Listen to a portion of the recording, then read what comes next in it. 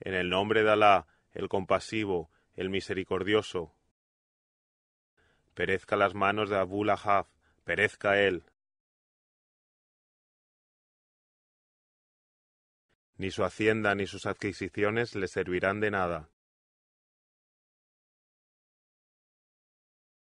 Arderán un fuego llameante. Así como su mujer, la carreadora de leña. A su cuello una cuerda de fibras.